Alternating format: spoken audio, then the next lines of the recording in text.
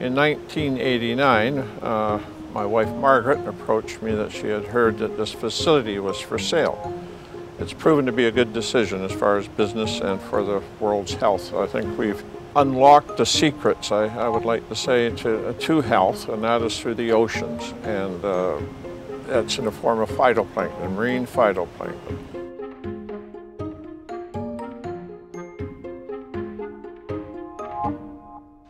We were working with these phytoplankton and growing shellfish, and I was notified that I had serious health problems. Standing one day looking into my products and thinking about my problem and thinking, well, they're telling me in the world that there's cure in plants for good health.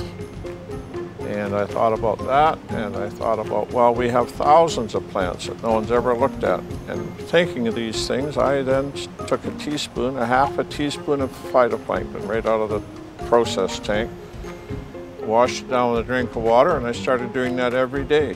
And uh, every day I started feeling a bit better. Each day I felt more energy. When he finally decided to start consuming the phytoplankton, well, I guess I could say I was a little bit concerned that he was doing this, but when he finally explained it to me one day that Tiffany, these are over 200 species of wild plants. How could that not benefit my body in some way, or how could that not possibly give me energy or perhaps a little bit more stamina? And uh, we just started to see a shift in him. We started to, to, see a shift in him with his mental clarity, with his sleep patterns, which was real big. He was having a really hard time sleeping.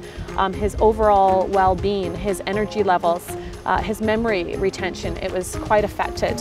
You know, eventually we got to the point where we were really supporting him to continue down the path that he was with the plankton.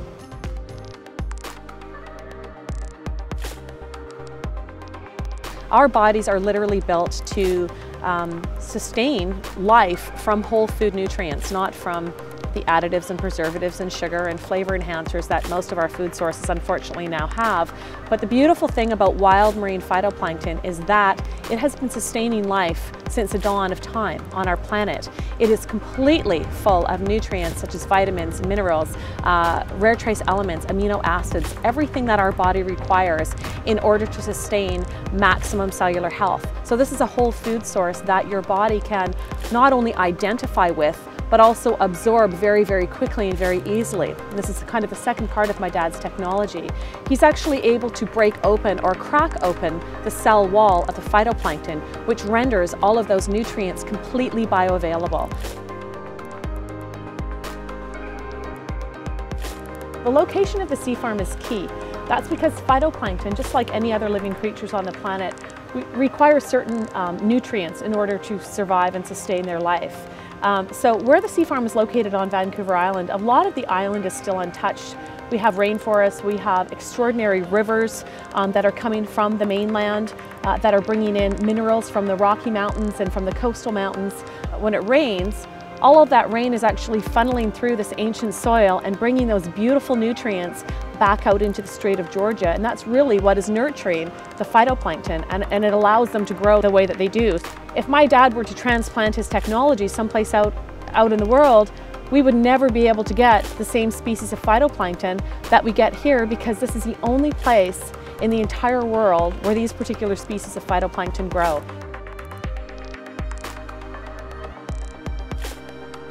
We were getting thousands of, of written phone calls. I mean, it was humbling coming to work every day because I couldn't wait to get here to hear what was on the answering machine or, or on voicemail and you know call my dad at home or bring him into the office and we had people showing up at the sea farm and there was all these little almost like a little pilgrimage happening for a time there and the testimonials that were coming in were ranging from better energy, better sleep patterns, overall sense of well-being. Many, many little things that uh, we hear but by thousands and thousands of people. Major, major things as myself. This is how it's made available. It's nature. We've just taken nature and only nature creates our products, not us. We've just found a way to collect them. That's all it's a gift, you know, and quite often we receive the most beautiful gifts from the most unexpected places and the most unusual, unforeseen circumstances. And um, we're embracing it. We're embracing my dad's legacy.